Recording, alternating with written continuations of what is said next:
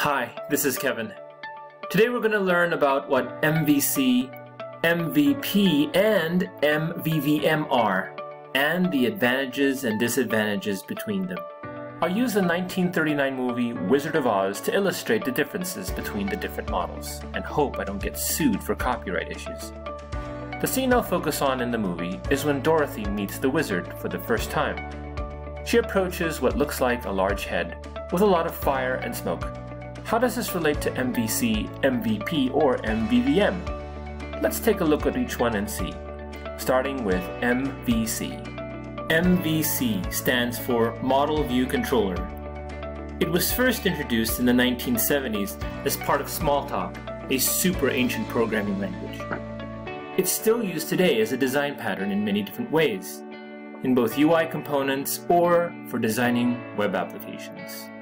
Let's suppose the Wizard of Oz set up his wizard equipment in a model view controller pattern. How would that look like? Well, you first have the hologram of the wizard's head. Then you have Dorothy who sees the hologram.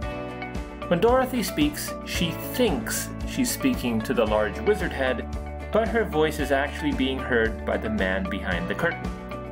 That man then enters data into a computer system that stores information and makes the wizard hologram move. In this case, Dorothy is the user, the wizard head is the view, and the man behind the curtain is the controller. The ancient computer system that stores what the wizard head should do is the model. The model is where the data of the application resides. It is only updated by the controller. The view renders the model in a particular format, and the controller is the piece that the user interacts with. It updates the model and sends it to the view. The advantages of MVC is that it's easy to separate and test each component such as model, view, and controller. Each component uses the single responsibility principle and does only one thing. The disadvantage of MVC is that there is a tight interdependency between the model, view, and controller.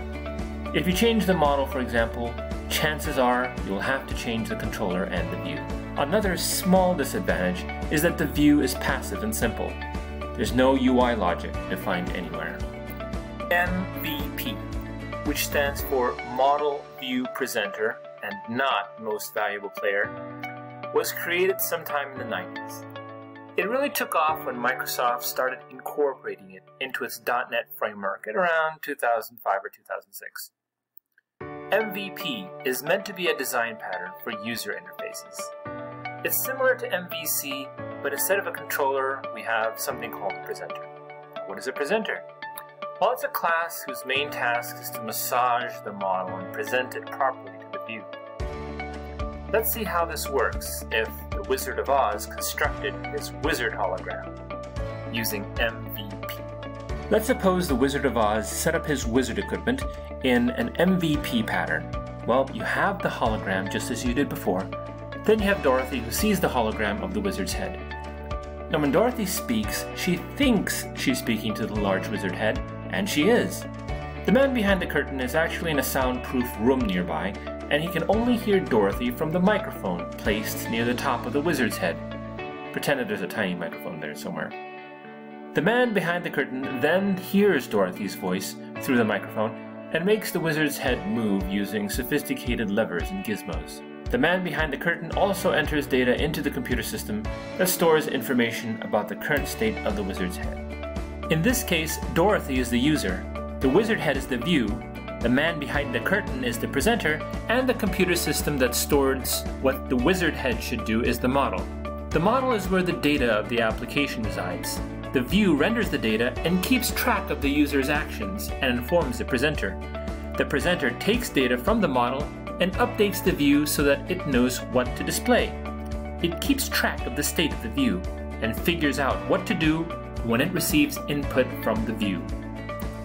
The advantages of MVP are that the model and the view are separated and easily testable. The disadvantages of MVP are that some tight coupling between the view and presenter and presenter and the model exists. So, interfaces are required to reduce the coupling. Another disadvantage is that if you're not careful, you might end up having presenters that contain a lot of code. The presenter could end up doing most of the work on the page if you do not split them up into smaller classes. MVVM stands for Model View View Model. It was invented by Microsoft at around 2006, and it's used in its WPF and Silverlight based applications. It has since been used by other UI libraries and frameworks.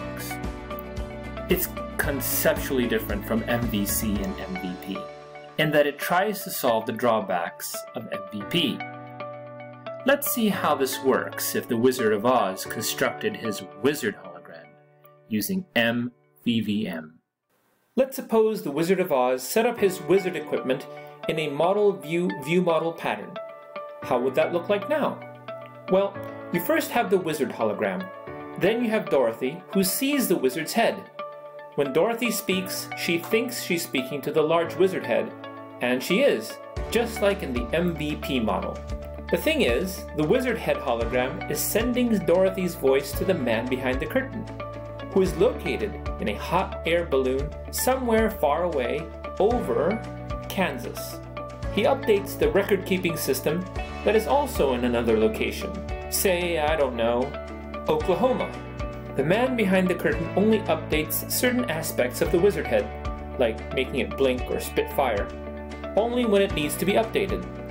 This also updates what needs to be updated in the record-keeping system. But Dorothy doesn't know this.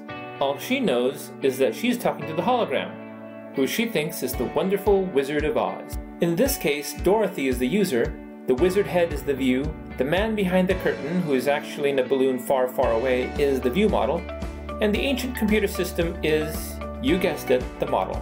The model is where the data of the application resides, the view renders the data and keeps track of the user's actions and informs the view model. The view model takes the data from the model and updates the view so that it knows what to display. Now there's one thing that the MVVM model has that MVC and MVP do not have, and that is that it uses data binding and UI events to potentially signal changes in the view and the model. Some of the drawbacks of the MVP model are solved in that the view model is not tightly coupled to the view or the model. This makes testing easier.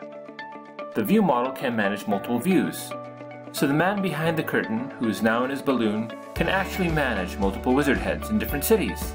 Scary thought.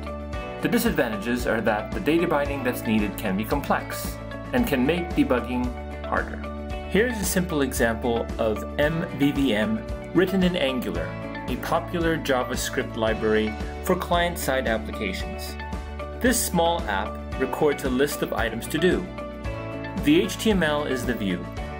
There are bindings here to the form, so that when it is submitted, Angular calls the add-to-do method, which is located in the view model, which is just a function.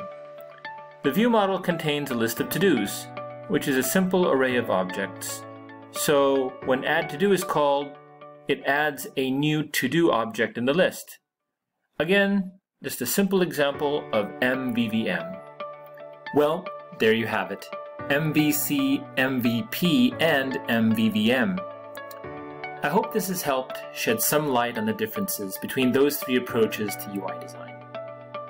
If you want to learn more about software and software architecture, please hit the like and subscribe button below.